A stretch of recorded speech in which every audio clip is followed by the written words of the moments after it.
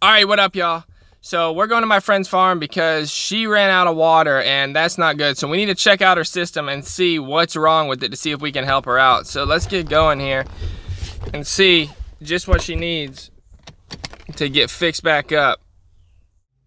All right, so it's not looking good. Uh, this tank's waterlogged. I pressed on the top and yeah, water shot out. So that's bad. The contactor is burned up. It's been going on, off, on, off, on, off, on, off. Beep, beep, beep, beep, beep, beep, beep, beep. On, off, and yeah, it's burned up. There's no pressure relief valve. We need one of those. Might need a new T. Let's go hit the store, y'all, and see what we can get to fix this thing. Let's see. This is what's already there. 20 gallon. 154. 289 said just copy what's there, I guess. Worked good enough for years, so we're going with this bad boy.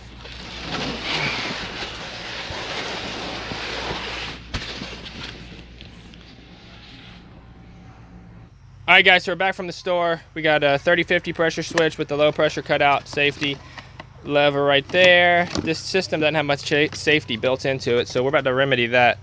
Uh, pressure relief valve 75 psi that's going there. 100 psi gauge going there. Uh, random plugs and all kinds of stuff. Uh, the tank this awesome insulation because uh, with the sticky on it because she's got in this little shed and it's insulated and it's you know got a heat lamp but it's not really you know I mean who doesn't want to you might as well insulate it as best as possible you know what I mean? So we got these little cool little ends and stuff. Clamps, PVC cement, all that fun stuff. All right, guys. Time to rip this bad boy out and get the new one in.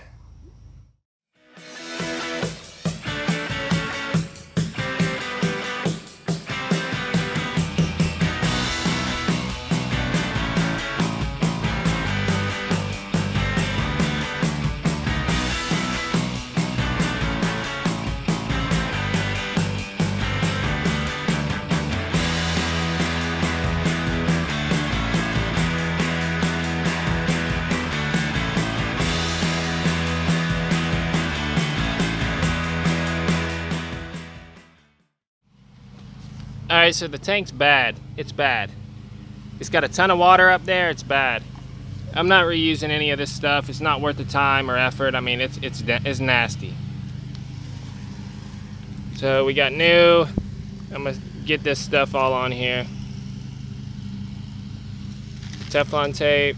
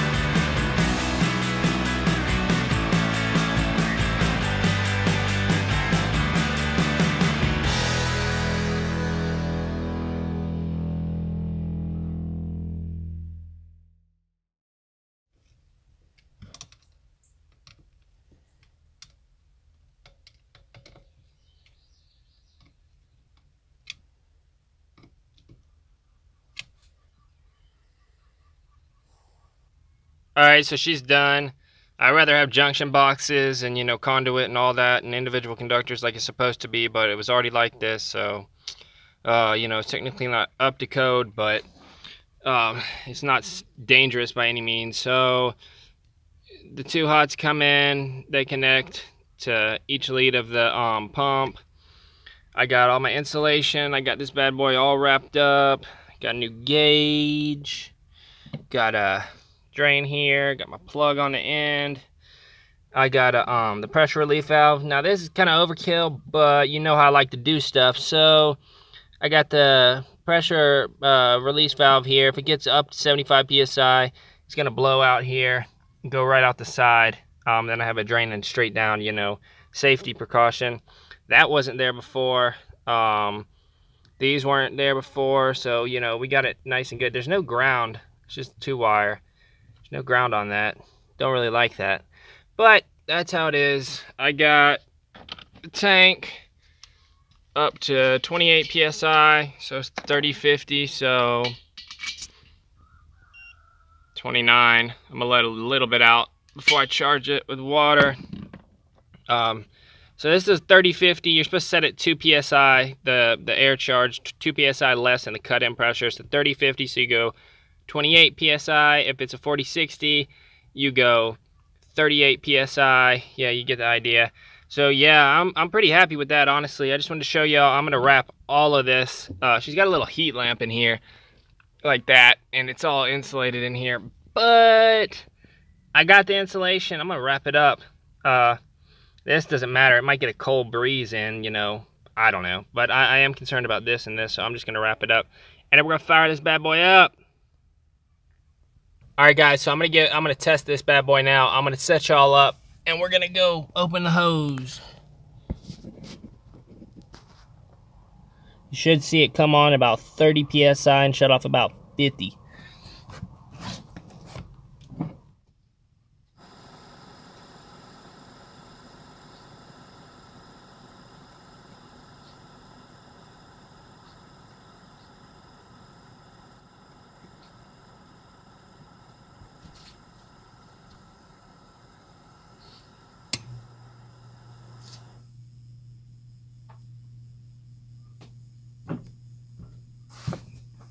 There it goes.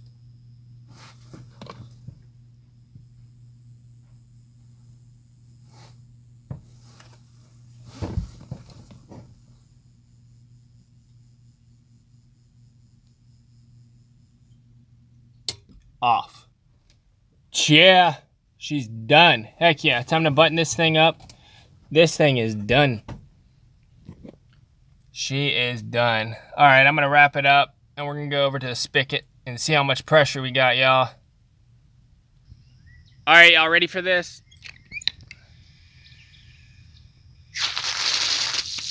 Yes.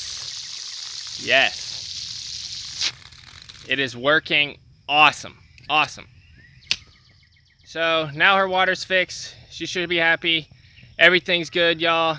Um, I insulated the heck out of that thing, so hopefully it'll help in the wintertime you know, it'll be nice and insulated. If y'all enjoyed the video and y'all want to see more farming videos in the future, hit subscribe button down below.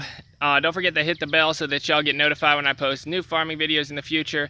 And make sure to drop me a huge thumbs up down below. And don't forget to comment and let me know what you thought about the vid. For now, y'all, I'm out. Later.